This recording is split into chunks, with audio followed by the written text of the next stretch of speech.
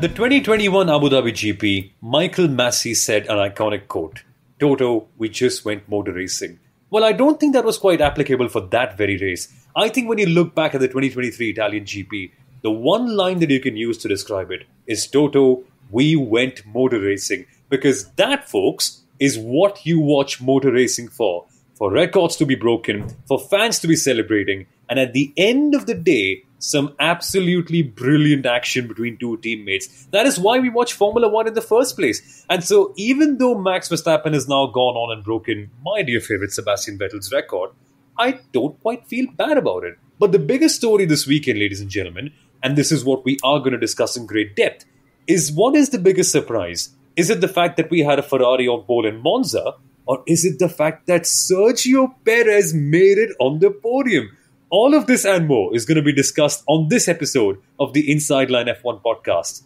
This is our Italian GP review. My name is Soumil Arora. I'm the host of The Driving Force on Disney Plus Hotstar and also of the Indian Racing League on Star Sports. And let's just go out to all of our co hosts as well.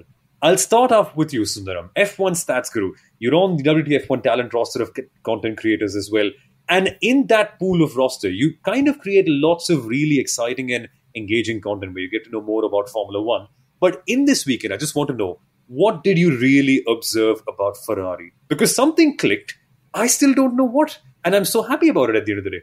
I think we don't know what exactly clicked, but the one thing that I was happy to see was happy faces at the Ferrari camp. You don't tend to see that, but it always ends with Ferrari doing Ferrari things, which we'll kind of dissect a little later. But it was nice to see Ferrari doing well at home and doing well in general uh, for a change.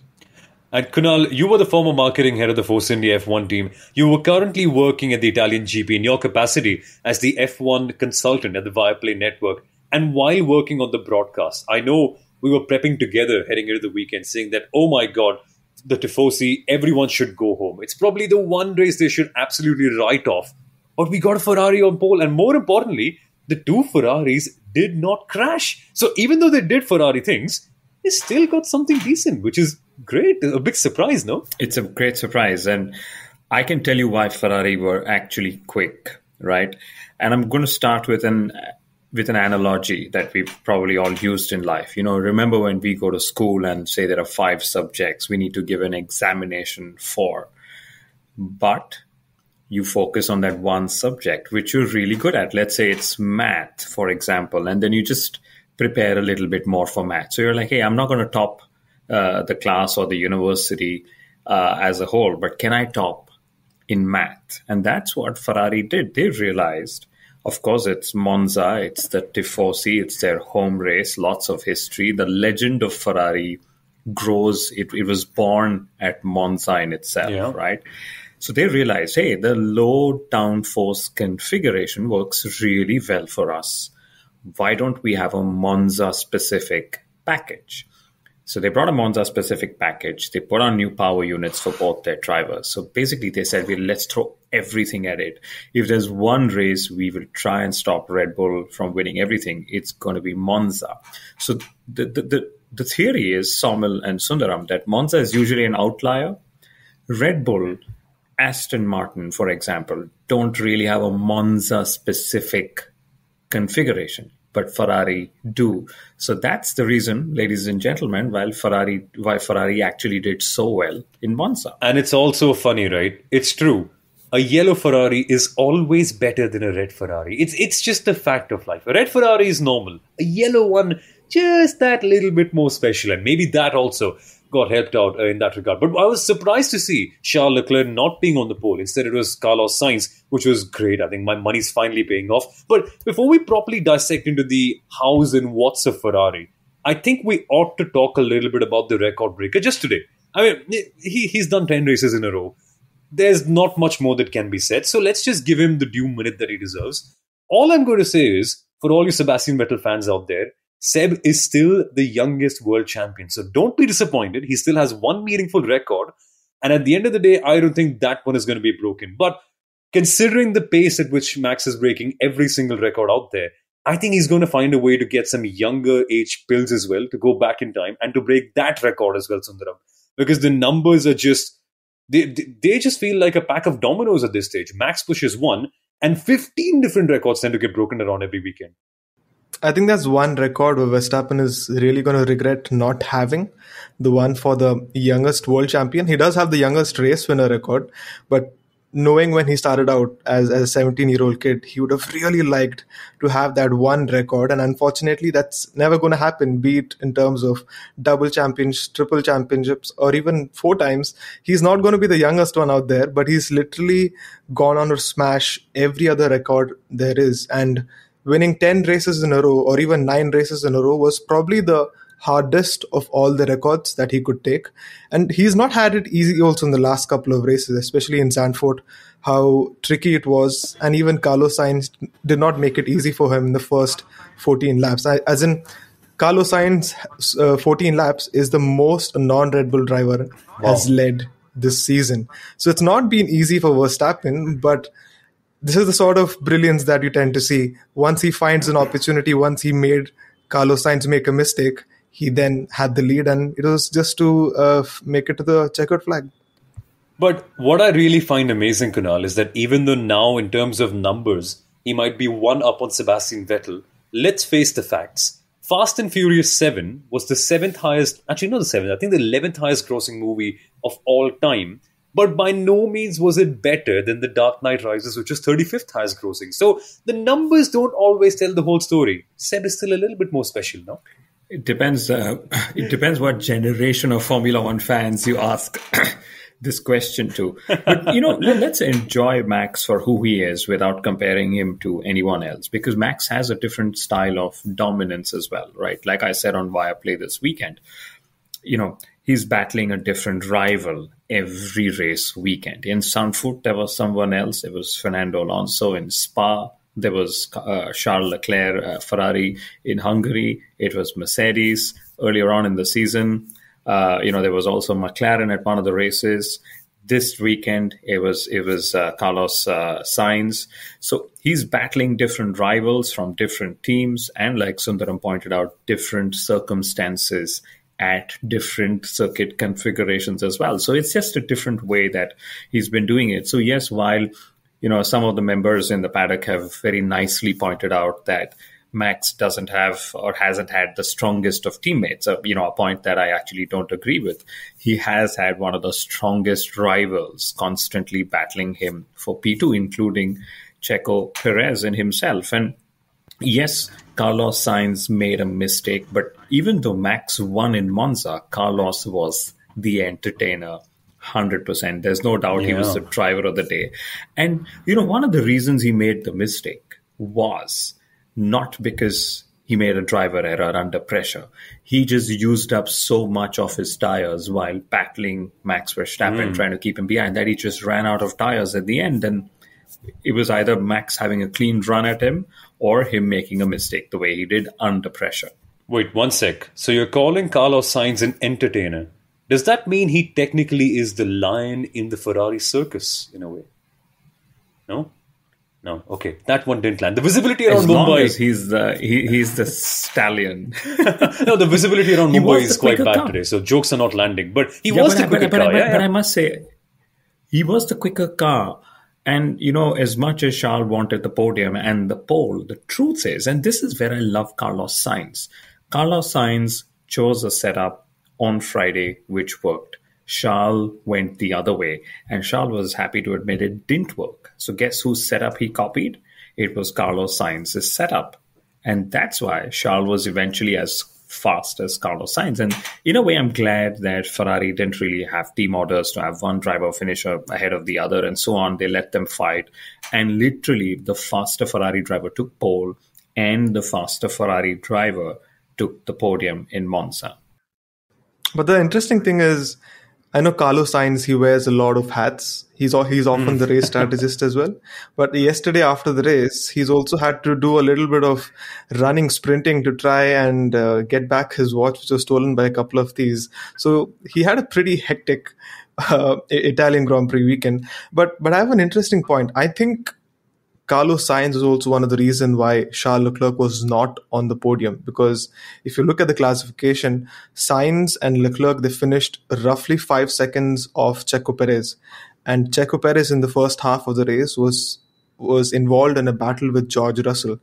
Had had Ferrari kind of invoked team orders and let Leclerc pass Sainz, he would not have been held back to the extent where he kind of ran into Sergio mm. Perez towards the end. So I feel at least if maybe if Perez would not have overtaken, it would have been a little bit more difficult at least mm. for him towards the end.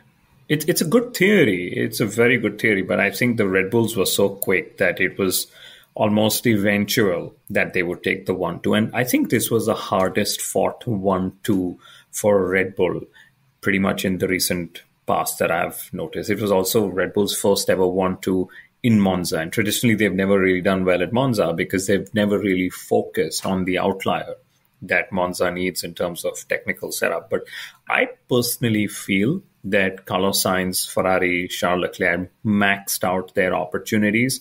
And this I, I wouldn't sort of subscribe to this could have, would have gotten second place with Leclerc, etc. Because all the hard work, mind you, was being done by Carlos Sainz up front, you know, trying to win the race. And they were trying to give the best driver a best shot. So, all in all, a, a fantastic motor race. And what I really loved, guys, was, you know, usual metric for a good motor race is we had 166 overtakes, 183 overtakes, highest ever. I don't even know, I don't even care how many overtakes happened in Monza, but we got to see wheel to wheel battle. Yes. For the lead, for the podium finishes. I mean, Max had to really work hard, and it was so smart, right? It was like a game of chess. Carlos Sainz had the straight line speed advantage.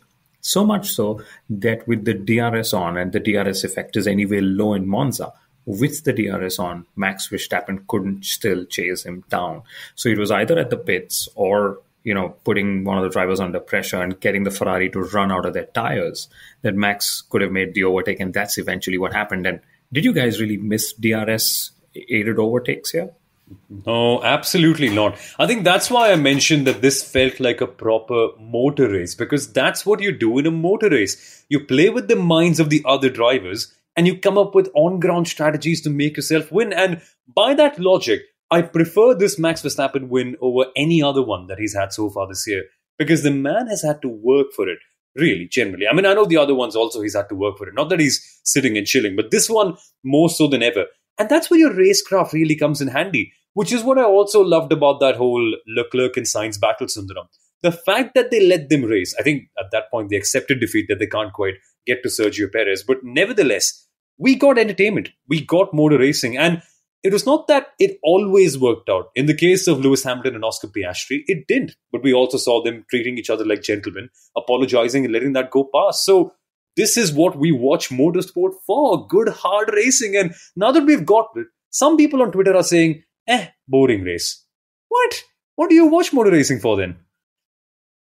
I think ev- everyone has a different lens at looking at Formula One races. They expect every race to be extremely entertaining, down to uh, the flag, down to the uh, checkered flag. But this was a difficult, a different type of race. It's not like the races that you tend to see at Hungary or or in Spain, where strategy kind of is the dictating factor. You have a team or a driver going the longer route in terms of pit strategy or having a tire offset. None of that stuff. This was typical Monza down to pace, down to what what engine output you have, and it is all down to how well you are able to capitalize on that. And coming back to overtakes, there were only 24 overtakes in this race, which is much less than what Monza usually sees. But still, we had a very entertaining race throughout 51 laps. And I think that was the, the nice part of it, being able to enjoy a race despite not having enough overtakes. Ah, that's the whole point, right? You don't really need something absolutely crazy. You don't need DRS. You don't need some speed racer like gimmick. All you need is alternate tire allocation and a good circuit. But let's talk about ATA for a second. Or how do you pronounce it, guys? Is it Ata? A- Ata? Or Ata, which is the word for wheat in Hindi? I don't know. Whatever it is. But did you guys think it worked out this weekend? Because the order remained relatively similar but I think when we talked about free practice, right, and how setups were being constantly changed, I think it really adds value there that the drivers have to be even sharper, which is something that Sergio Perez unfortunately had to learn the hard way, Kunal, because his car wasn't quite set up well. His qualifying was traditionally horrible, but then he got enough time in the race to learn the car as it came about and come up with a pretty good result at the end. So I I like it. I, I like the way it's going so far. More volatility, and it tests out the drivers who are meant to be the best in the world. So can you adapt to a car in just sixty minutes? I think there are two there are two coins. I, I would say I like it, but I would still want some tweaks to it, if I may put it as that. So what do I like about the ATA? That you know it's forcing the teams and drivers to be competitive and quick and on a single lap on every compound, right? Uh, the hard, the medium, and the soft through qualifying. But the impact of fewer sets was actually felt on free practice because they were putting in fewer laps, they were using fewer sets because they had fewer sets. And the the reason why I would say it's a little strange is you're putting up this whole show, driving in hundreds and thousands of fans, but you're not giving them enough laps. And yes, it's for environmental reasons, etc. But I, I don't understand why the core product of racing is always the first one they pull things out of or strike things off from when it comes to environment. I mean, the whole operation of Formula One in itself has so many more elements, I would assume, where environmental impact can and is being felt, but just leave the tires alone. And as Lewis Hamilton said, what's happened to all the inters and wets that were brought to Monza but not used? Wait, but don't you think it's actually not hindered the core product? Do you think so? Because I don't see how it's hindered the core core product. No, more volatility is just better entertainment and puts the trickier drive, trickier conditions for the toughest athletes in the world. What do you so, reckon? More more volatility. You know, if we sit to measure this metric, were there any surprise Q1 eliminations? Yes, you could say Alpine was a surprise Q1 elimination. They had a double Q1 elimination. Fair right? But wait, not Lance Stroll? I mean, well, you expect him to be there, don't well, you? well, and, and just just to add, I mean, yes, it, or it offered some bit of volatility. Was it Monza or was it the ATA that got out Alpine? I think it was Monza in general. It wasn't just the ATA, right? But the, the bigger challenge here, Soumil, is that uh, you know, drivers themselves have said that when you force teams to use harder compounds, the faster teams in general tend to do better. And that's true, right? Because what happens in typical qualifying, right? You have a Haas, they're saying everybody else is on the medium. I'm going to put on the soft and get through to Q2 if I can. But hey, when it comes to the ATA, you can't really do that as a team. You're then forced to use a particular compound. Yeah, that's that's true in a way. But again, that at the cost of saving 3,000 tires a year feels like I think I probably saved 3,000 tires a year. That's just me. We clearly know your take on. I'm not saying that you're not an environmentalist. You live in the country that's the most environmentally friendly in the world. And if you said something like that, they'd probably boot you out immediately. But what do you think about it, Sundaram? Because what we got from that is Sergio Perez having to work even harder and finally salvage a podium, which in my mind is the biggest story of the weekend. But for some reason, we just don't pay attention to it every single time. Max will take prominence, Ferrari will take prominence. But guys, a guy has come back with such great redemption. He's not been on the podium for months now. It must be the greatest satisfaction in the world, but we just don't talk about it, Sundaram. We're, we're bad people, yeah. We're horrible people. I think we're overhyping Checo in this sense because it's always been a case where he kind of underperforms on Saturday and he kind of balances it out and goes on to become the hero by uh, overtaking a couple of slower cars. If you have that that speed demon of a car, ideally you're expected to finish to qualify in the top two top four maybe, but he's always been qualifying even lower than that. But yesterday, when he was really battling it out with, with the Ferraris and even with, with George Russell, I felt this is a crucial race for Sergio Perez because if he's not able to take that car to P2, there's going to be a lot of criticism coming his way. Thankfully, he did manage to take it to P2, but if he had not managed to get past Carlos Sainz, he was really trying hard. He was he was doing all sorts of tricks, even over the radio, trying to to mention that he's pushed him off. He's he's done that a couple of times, but eventually he managed to take it to P2, and I think that is worth mentioning and that that is a commendable effort but checo does have to be a little bit more consistent on saturdays Three years of lockdown, three years of using digital devices to record episodes, and I still haven't learned this one trick. I have still put my mic on mute. Here we go. But uh, I see a lot of new Formula One fans join in, right? And every single time we have a word about Checo, it's always positive because they unfortunately aren't quite aware of the dynamics of qualifying.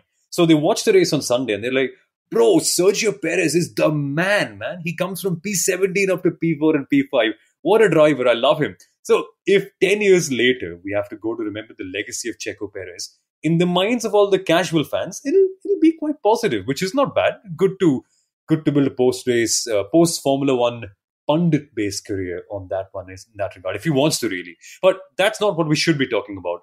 What we should be talking about is the racing action because there were tons of it. We saw the McLarens colliding with each other. We saw Hamilton and Oscar Piastri having a bit of a battle. But what was most surprising to me, Kunal, was the fact that you can pass a Williams on the straight. It was amazing. Alex Albon, we had the train briefly. Lando Norris couldn't get past, but it is fun watching Alex Albon here in Italy, which is what we also predicted.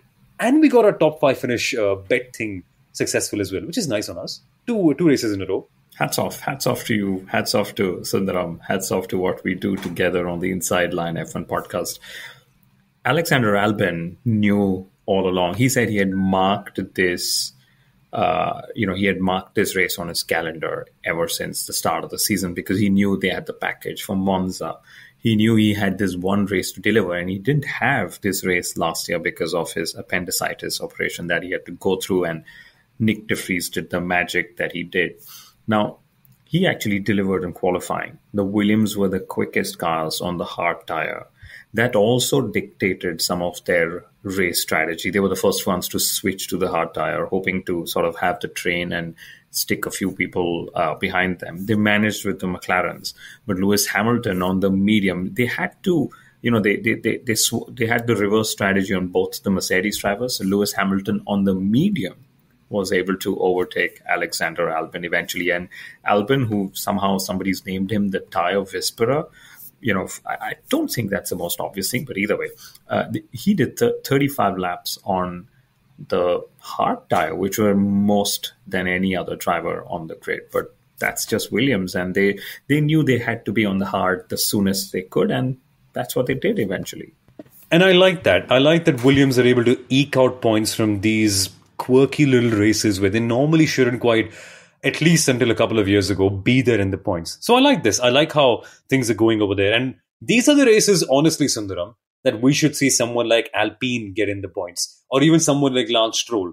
I know it's expected of them right now. At this stage, if you expect good results from all three of them, it's probably the wrong thing to do. Maybe you aren't an experienced enough Formula One fan, but nevertheless, it you need to set some expectations, even though they're low, but what these three drivers performed, Ocon, Gasly, and Stroll, was even lower than the low expectations. And honestly, if Alex Albon is getting in points, if McLarens are not really doing very well this weekend, that just pains me to see that these guys were not there to capitalize on it.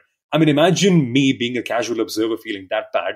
Imagine the mood in the garage in that regard. No, my disappointment in, in Alpine and Renault has has no limit. I've, I've I've said this multiple times. This being a works team does not have its act together, and Al Esteban Ocon. What works? Wait a minute. What do you mean by works team? Nothing is working, buddy. exactly. And Esteban Ocon and Pierre Gasly are otherwise good drivers. I mean, you've seen what Pierre Gasly is able to do when he was in the Alpha Tauri after his demotion from Red Bull. You would have probably expected him to go the Kvyat way, but Gasly did extremely well during his time in Alpha Tauri, and that's one of the reasons why he got this Alpine seat. But they're not able to use that potential. They're not able to show all that they have on track because that car is that unreliable. And we say Ferrari does Ferrari things, but the Alpine's engine is doing Alpine engine things. There's there's also a lot of talk about it having a power deficit. There's a lot of uh, discussions of, uh, uh ha- happening around that as well. But it's a team that's been blowing hot and cold. They blew, they, they did extremely well in Monaco, and they kind of tapered off, and they did well at Zandvoort. I know it, it was also due to the, the circumstances, and Gasly was able to capitalize on it. But a very sad weekend where both of them got qualified, the kicked out of Q1, and they were not able to get anything out of the race. It's it's just sad, and As for Lance Stroll, I don't know if we have any expectations from him at all because he's the only driver in the top 11 to not have a podium. Even Esteban Ocon and Pierre Gasly have a podium. Lance Stroll doesn't. And him not being able to get enough points has now meant Aston Martin is fourth in the constructors below Ferrari. Incredible, right? Ferrari actually pulled that one in Monza and got P3 in the Constructors' Championship. But just just a wee bit about Alpine. You know, the, the funny thing is on Friday after the free practice sessions, they were actually slow. But Pierre Gasly actually said to the media that it was unspectacular, but it was still a very solid Friday for us. I really don't know what the solid would mean if it means a Q1 exit and not not scoring points. But it, it it's probably again one of those power deficits to their power unit and hence as a result just not able to perform on these really long straights. And they're waiting for an equalization once it is approved by the other teams and the FIA as well right? But Albon who we actually just spoke of I'm just going to go back to him for a bit. In the last two races Alexander Albon has scored 10 points. Well yes that's a lot for Williams but that's the same number of points that George Russell Lando Norris have scored, which is 10 points. Lance Stroll has actually scored zero in that time. Esteban Ocon has scored one, and Oscar Piastri has scored two points. That's just how well Alexander Albon has gone in Zandvoort and in Monza. And uh, talking about Lance Stroll, it amazes me that Mike Krack still is making statements like the gap between Stroll and Alonso is actually very small. I think, I think that's just money talk. One second, we can, we One can laugh second. it off. One second. So, if the gap between Stroll and Alonso is small, Sundaram, what was the gap between Verstappen and Carlos Sainz in qualifying? There was no gap. No, I think they both said the same lap time. If that's the case, 0.013 seconds. Oh, what a huge gap, man! Oh my god! Oh, oh, oh, my dear. Yeah, I think I think two tenths is a small gap. Now the three tenths on a lap uh, is a small gap, but yeah, one hundredth per lap is is a huge one. Some does does Mike Krack know racing? I think he does, right? He's meant to be a racing He guy. does, yeah, yeah, yeah. But the, the, the funny Nice. thing is, and I don't, I, I don't know if Soumil caught it given his love for Lance Stroll. Max Verstappen, when he ended the race, GP Gianpiero Lambiase, his engineer, who we all know is his fiercest rival uh, these days in Formula One, came on the radio and said, "It was a stroll in the park, Lance, wasn't it?" And I don't know if that was a pun on Lance Stroll in itself, but I just burst out laughing.